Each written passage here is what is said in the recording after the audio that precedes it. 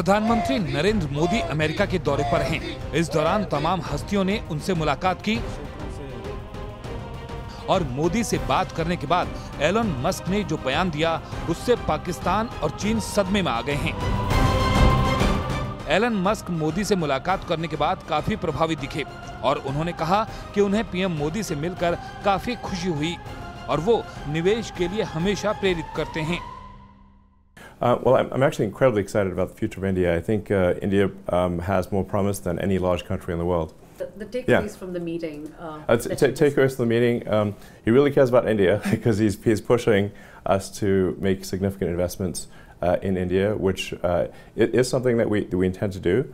Um, and we're just trying to figure out the right timing. In a nutshell, um, it was a, a, a fantastic meeting with the Prime Minister, and um, uh, I, I, I, I, like him quite a lot. He visited our uh, Fremont factory several years ago, and so we've, we've now known each other for a while. So how do you see Prime Minister Modi's leadership role as far as making technology inclusive so that you know digital infrastructure can be created? I, I can say he, um, he's, he's, he really wants to do the right thing for India. Uh, he wants to be open, he wants to be supportive of new companies, um, and obviously, but at the same time, make sure um, it accrues to India's advantage, which is, uh, you know, obviously th- that's the job. I'm saying um, I am a fan of Modi, so, so I have to say that. What are your future plans personally? What do you look at as far as investment in, in India is concerned?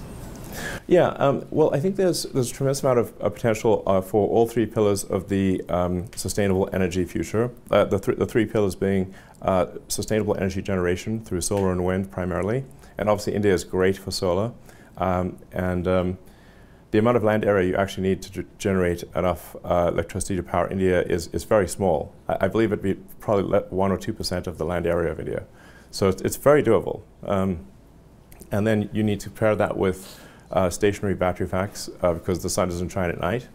And then you need electric vehicles, and then you have a sustainable energy future. And I think it will. Uh, uh, the, the interesting thing people will find is that this is a lower cost way to go as well. That may surprise people. And, and we're also hopefully looking forward to bringing Starlink to India as well.